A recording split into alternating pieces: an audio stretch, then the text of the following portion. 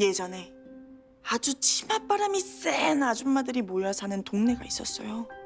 그 동네에서 아들들을 그냥 장원급제를 시키겠다고 시키겠다고 막 어릴 때부터 뭐 무슨 교육 무슨 교육 가리지 않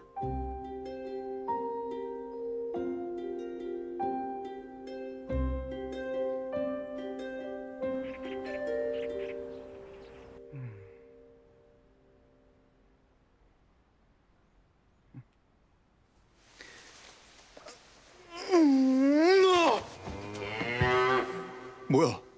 어? 뭐야 너 왜 여기 있어? 전하께서 잘 주무시나 해서요. 근데 너 상태가 왜 그래?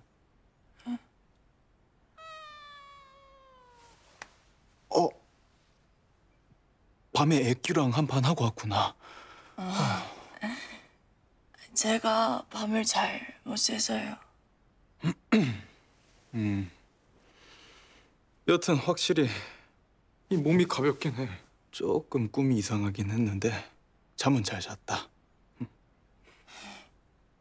편히 주무셨다니 다행입니다. 피곤하면 가서 좀 쉬거라. 예? 그래도 돼요? 예, 예, 자. 아, 아, 이게 어, 어, 어, 어, 또 빙의가 된 것이냐? 아, 이 고래 아직도 잡기가 많네요.